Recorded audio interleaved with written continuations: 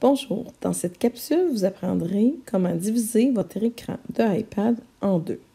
Premièrement, vous devez ouvrir les applications qui vous intéressent. Donc, par exemple, si moi, c'est l'application Notes que je veux avoir dans un côté, je vais commencer par l'ouvrir, puis je vais euh, quitter, la minimiser, l'application.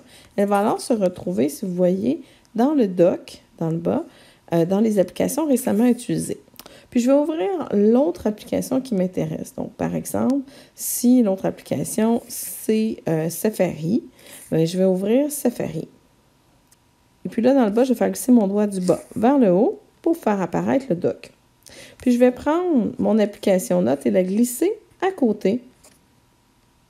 En maintenant le doigt sur l'application, je la glisse tout simplement à côté de Safari. Donc, on voit que l'écran est parfaitement divisé en deux parties égales. Donc, je peux euh, modifier la division en simplement en tassant ici la division du milieu pour avoir une partie un petit peu plus grande qui me permet d'aller prendre des notes.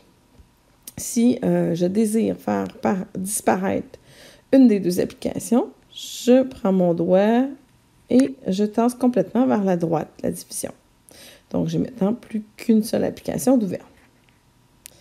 Il est également possible de mettre une application par-dessus une autre. Donc, si par exemple, je recommence, mais que cette fois-ci, euh, j'aimerais avoir Safari,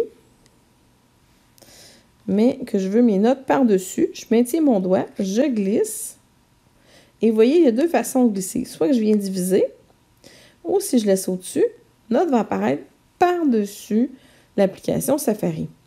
Donc, à ce moment-là, je vais pouvoir prendre mes notes également, mais vous voyez qu'il y a une partie de mon navigateur qui est cachée par l'application Notes. Si je veux me débarrasser de notes, une fois que j'ai terminé, je vais le glisser ici et tout simplement repousser vers l'extérieur.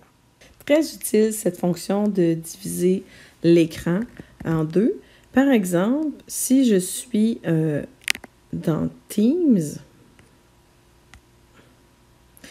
et que je, suis dans une vidéoconférence, là, je ne peux pas la partir euh, pendant que j'enregistre, mais si je suis dans une vidéoconférence, par exemple, si je pourrais cliquer sur Rejoindre, et je peux faire apparaître, par exemple, Safari juste à côté, et je peux travailler, faire ce que mon professeur me demande, en même temps de suivre ma, euh, ma vidéoconférence.